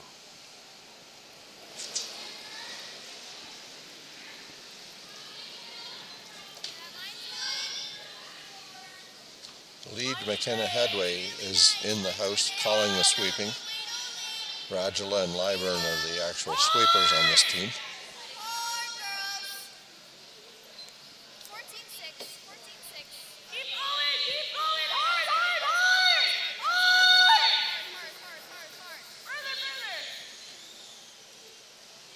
Comes up just a little bit short. Uh, Red Rock appears to be second shot stone.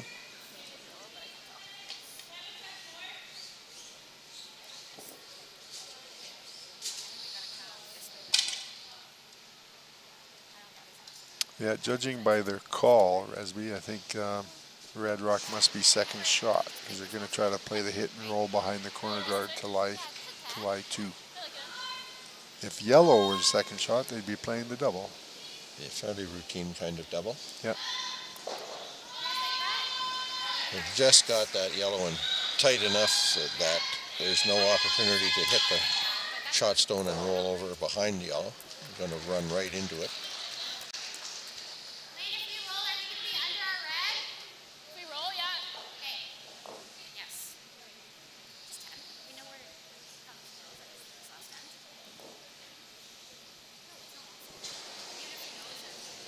Or roll tag that way, that's fine. Okay, make it good.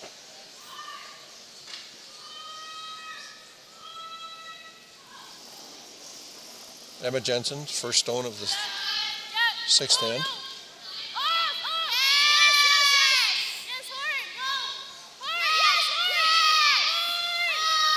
Comes to the rings, it is going to get right to the nose of the rock, rolls a little bit. Yeah, pretty good shot. The difficulty with that is she rolled, kind of, kind of gave Katie a fairly easy half rock double. There are no such thing as automatic double kills, but uh, this is reasonably close to one. Yeah, yeah. They maybe could have got off it at the end. They were really trying hard for the roll behind the corner. It just curled a lot, as they all seem to be doing. Might have been better off to let it go and and hit it on the nose. However, we'll see if Katie can make the double right now.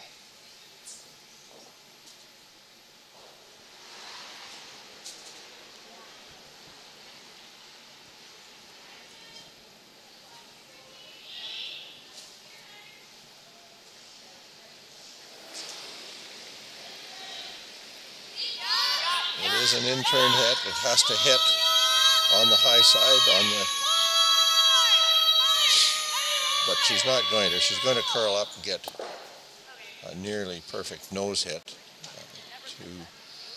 Now that's interesting. I wonder who shot.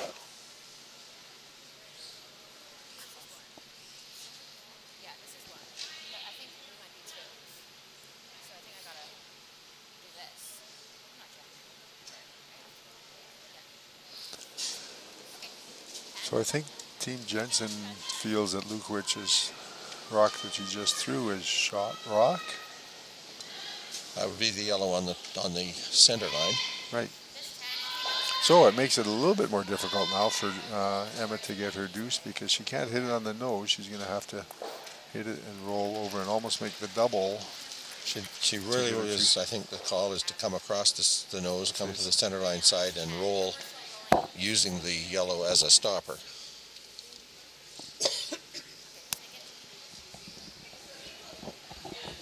So the chance to get back the two that they gave away in the fifth end. It is Emma Jensen with an in-turn hit. She wants to cross the face of this Yellowstone. Gonna have to curl. Isn't going to make that. She is going to get the pure nose hit. Yellow will be second shot stone. We think. Unless they decide they are going to measure. That's was an assumption on our part all along based on strategy. And they will measure. So it's closer than we thought. Perhaps not real close. We did see one of the teams today say uh, something as simple as, uh, that's probably yours, don't think there's a lot of argument, but I'm always going to measure one that close. So We tend to do that a lot in seniors yeah. because we don't see so well. see, I thought you were going to admit that you needed an extra long rest at the end of the end, so one of the ways of doing it was calling for a measure, whether, too. whether or not it was needed. So One of Manitoba's veteran umpires, Dale McEwen, very well respected, I think, by the curlers for his fairness and a very quiet approach to officiating. Absolutely. Dale's done a lot of seniors and master championships that I've been involved in, and uh, just a, a, great official and uh, very good guy. So he puts the stick on that Yellowstone first. I never did know what the basis was for the decision which rock do you measure first. Kind of always thought it might be, it was red. It might be the one that uh, he thought was first, but no, he said you always come into the house from the back and you measure the one on the left first and then swing the stick around to the one on the right. So there you go. You well, who knew? Something else. So yeah, I learned it something is now a, a six to four score as there is a score of only one and uh, 6'4", 6'5", on the screen uh, uh, is what we call in the business a typo. So uh, we will be back with a 6-4 lead for Lukowich and back with the seventh end in just a moment. Today's sponsor, Pharmasave. Canada's community pharmacy is proud to support Canada's community game. At McMunn & Yates, we've always believed that good neighbors make for better communities. McMunn & Yates has everything you need for your next project, right at your fingertips. And McMunn & Yates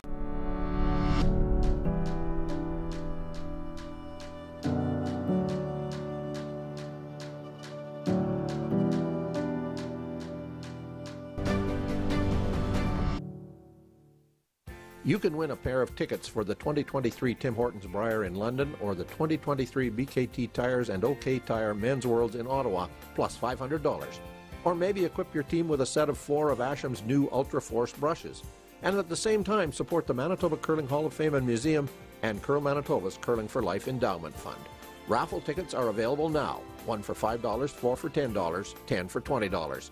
Buy online at fundingchange.ca slash curl Manitoba or scan the QR code on your screen right now.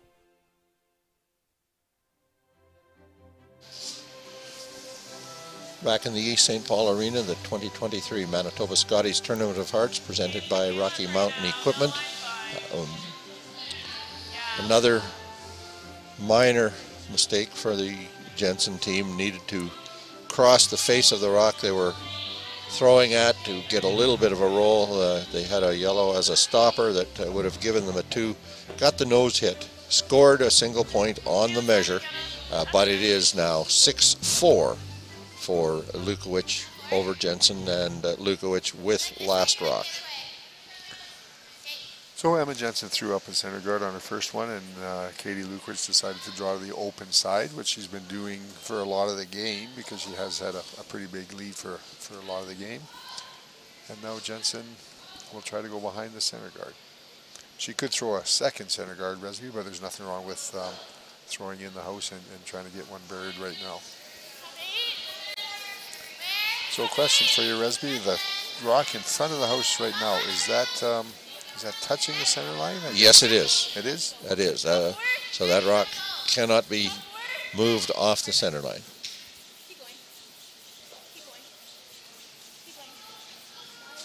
She comes over to it. She actually touches it, moves it off the center line, and I would think Katie Lukowich would look at it to see if she moved it off the center line.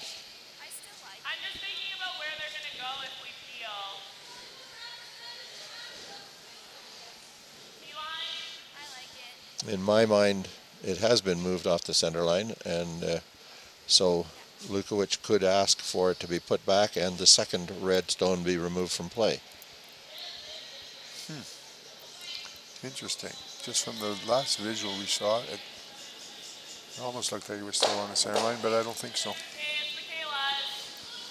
Well, we'll see.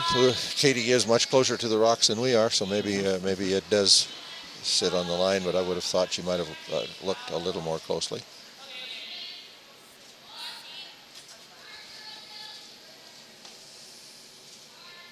It's very close. It may well still still be touching the center line.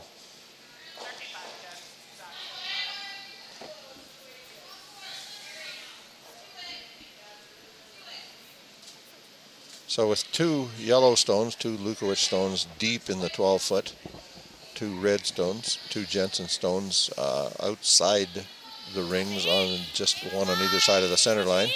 Jensen will go to the outturn side and uh, try to catch that big curl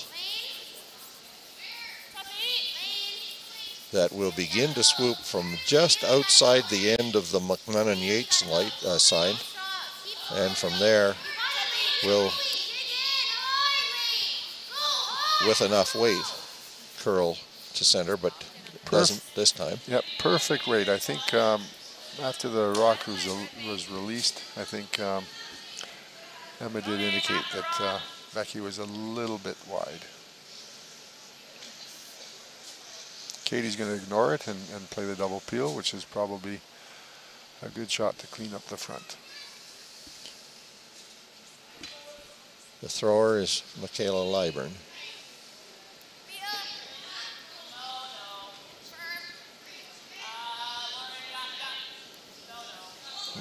Just hits the high side, jams. Does it have enough momentum to carry it out of the rings? No. Leaves two reds side by side, a couple of feet in between them. Yeah, even though she didn't get the, the second red rock uh, out of the house, still um, simplifies things for Katie because there are no guards.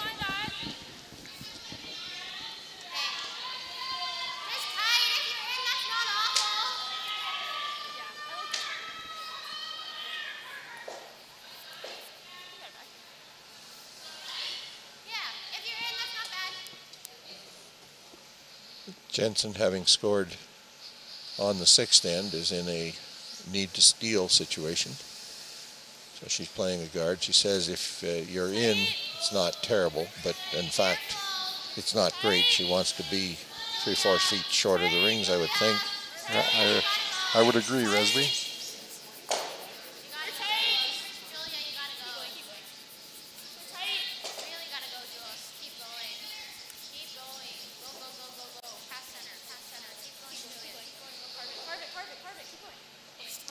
Good sweeping there to get it all the way to the center line.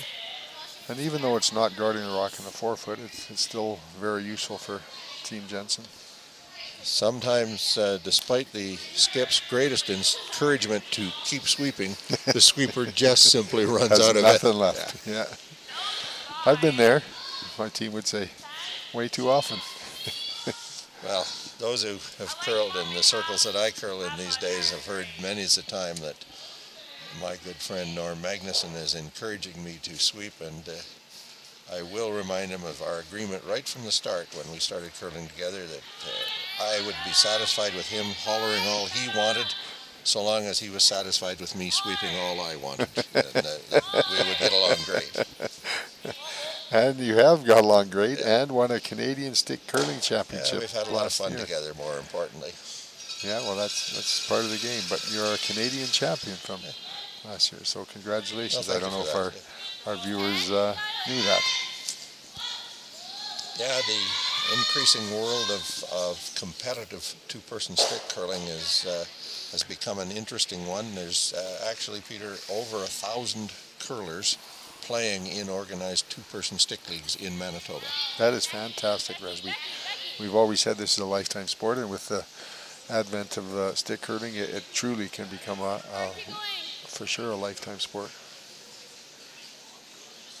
Well, an attempt to kill the Yellowstone uh, really contacts red first and leaves that yellow in the forefoot. Right, and leaves Team Jensen in a whole bunch of trouble because now Lukowich can make a hit to lie four. We are coming to third stones. Lukowich with last rock. Too deep in the 12 foot, uh, ominous for the Jensen team. They, if they come into play, if one of them comes into play, odds are both of them do. Yellowstone stone needed to be removed, but stayed in the four-foot circle and uh, removed Lauren, her own. Yeah. Lauren Rajala will try to play a hit and roll to the center line.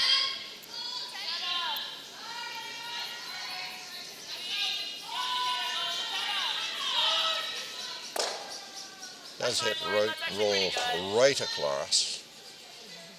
So now a cluster of three stones in the back corner of the rings. Now it's decision time for Team Jensen.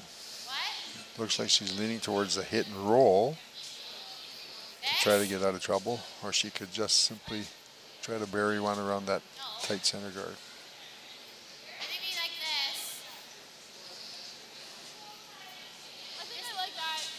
The one thing about the hit here, Peter, if it overcurls a little bit, it's probably going to roll into the cluster of three stones over in the back corner. Yeah, if she hits about three quarters, although it really depends on the weight, right? You could easily hit too little of it and slide behind all of them. So we'll see. That is yeah, huge, Lane, huge shot here in Lane this end. Prokopowich throwing an out-turn hit. Huge shot. It's looking pretty good. Uh, just coming up to the hog line. Try to get some to curl on it, but she will get a nose hit on it.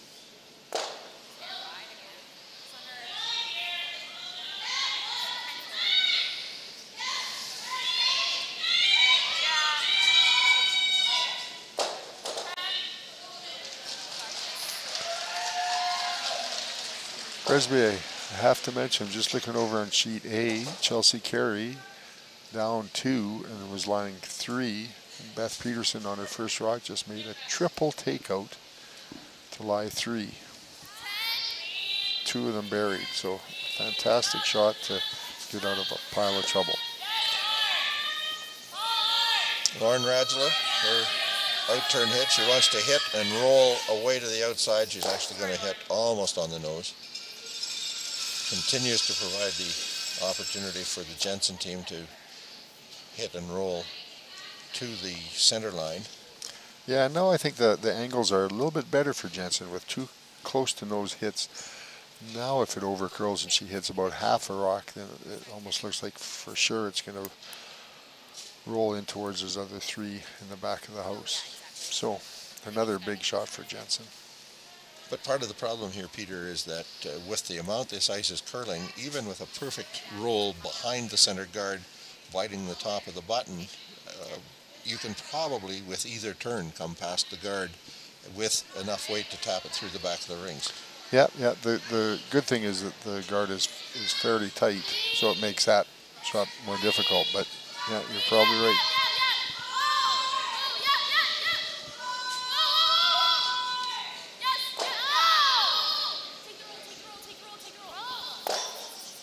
Oh, very good attempt, but not quite enough roll there. So it's still just fully wide open.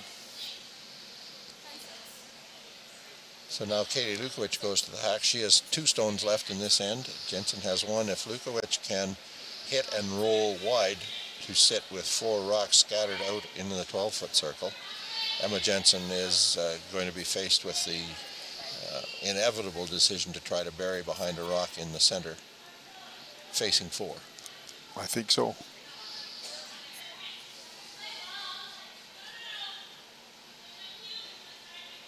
This Yellowstone needs to stay in the rings, but Katie Lukowich would be quite content for it to roll, even if it's just as long as it's still biting.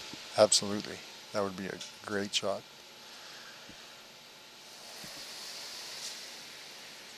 This will now be the out turn hit.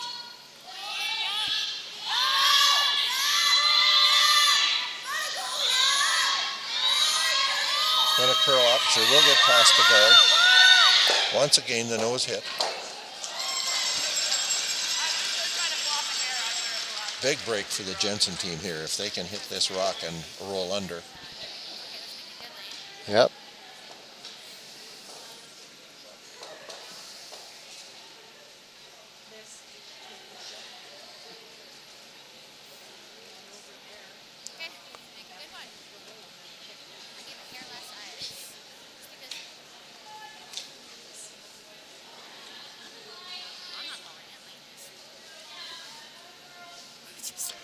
Game on sheet C uh, in the seventh, sorry, sixth end.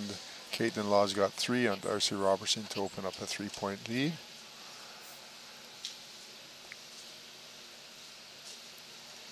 And the seventh end is just over in the Carey Peterson game.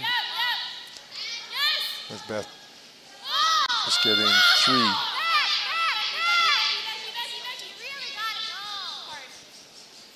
So the Jensen opportunity to hit and roll under uh, doesn't work out.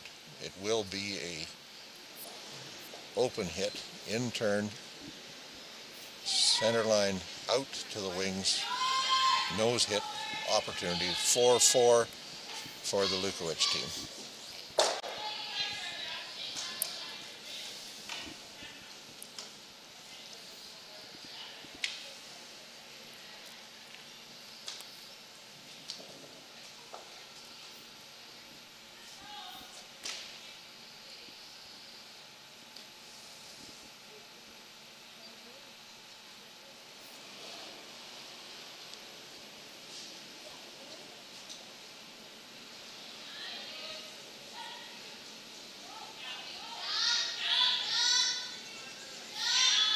sweep it all the way. They may uh, over curl a wee bit, but Looks no, pretty it's good. going to be a nose hit and a score of four to take a 10-4 lead and quick handshakes after seven ends. The Lukowich team leads and wins by a score of 10-4. Just to recap the other scores, Beth Peterson with a three goes up 9-4 on Chelsea Carey, and the final stones of the other uh, game still to come with Lawes leading Robertson 7-4 playing in the seventh. That wraps our game for this afternoon. Uh, we'll have another game for you from the 2023 Scotties Tournament of Hearts presented by Rocky Mountain Equipment uh, in St. Paul on the evening draw. Thanks for being with us.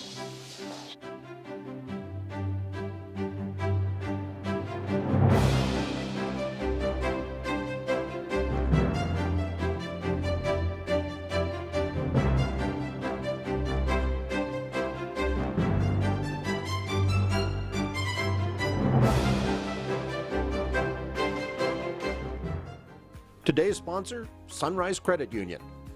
Building a brighter future together.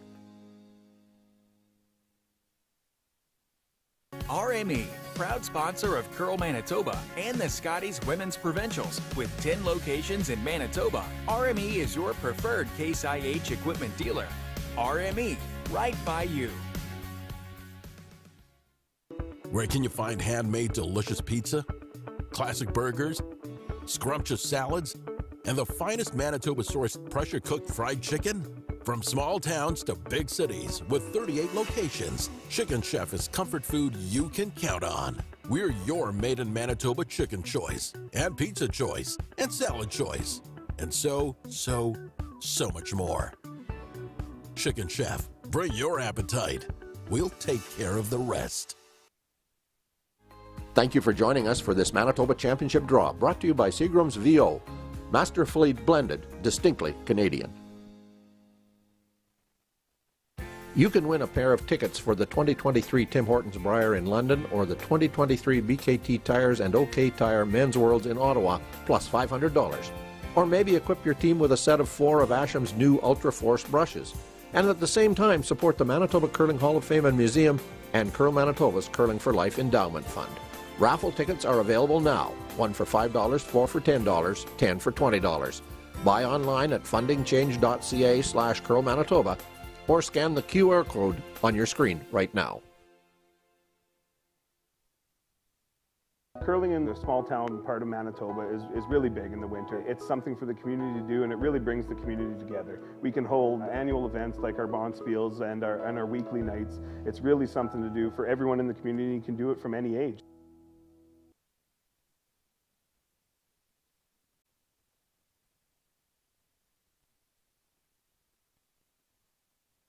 We hope you're enjoying this Manitoba Championship curling, brought to you by Seagram's 83, Manitoba's favorite Canadian whiskey. Where can you find handmade delicious pizza, classic burgers, scrumptious salads, and the finest Manitoba sourced pressure cooked fried chicken? From small towns to big cities with 38 locations, Chicken Chef is comfort food you can count on. We're your made in Manitoba chicken choice, and pizza choice, and salad choice, and so, so, so much more. Chicken Chef, bring your appetite. We'll take care of the rest. When life gets busy, getting everything done can be tough. With Pharmasave's mobile prescription service, order your prescriptions right from your phone so they're ready when you are. Download the Pharmasave app today. Live well with Pharmasave. RME, proud sponsor of Curl Manitoba and the Scotties Women's Provincials. With 10 locations in Manitoba, RME is your preferred Case IH equipment dealer. RME, right by you. Today's sponsor, Sunrise Credit Union. Building a brighter future together. Eat. Meet. Stay.